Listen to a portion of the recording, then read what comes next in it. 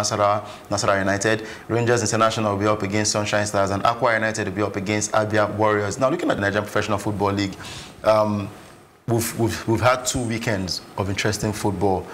But how would you want to assess the NPFL so far since it started? Without TV broadcast, hmm. without uh, sponsorship, and um, there's a particular coach who is speaking of the VAR being introduced in the league. let's start from the coach. Mm. You know, um, of course, we want to see um, technology introduced, just as we're seeing already in other climes. But the truth is, right now, with certain financial um, um, challenges that we that we that we are seeing with regards the league, it's going to be difficult to introduce the VAR. Very, very difficult.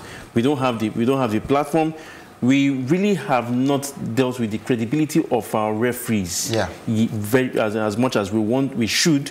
And that in itself will also put a question on the, on, on, the credibility on the use of technology, not just VR, on technology, because we, we also have to consider goal line technology goal line as technology, well. Yeah. So it's going, to be, it's, it's, going to be a question mark on the credibility of the use of technology oh. if we do not address the credibility of referees.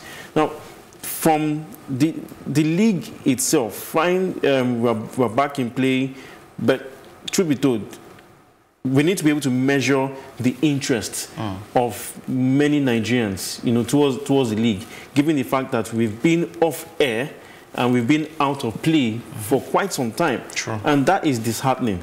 You know, we, I, I know when, when the momentum was up, when Supersport still had um, the rights, the, the rights we, we, we, we we could tell you know, from social media engagement that people were watching, mm -hmm. even though people were not impressed with the quality of play, the quality of coverage in yeah. a lot of regards, you know, but people were watching.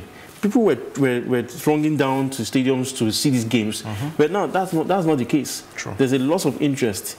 If we want to look at it from the very, very, there's a lot of interest. But if we actually want to drill down to audience measurement, you know, attendance, then there's a lot of concern because the, because the, the game is, is built around two key players, the, the, football, the football athletes themselves and fans. The fans.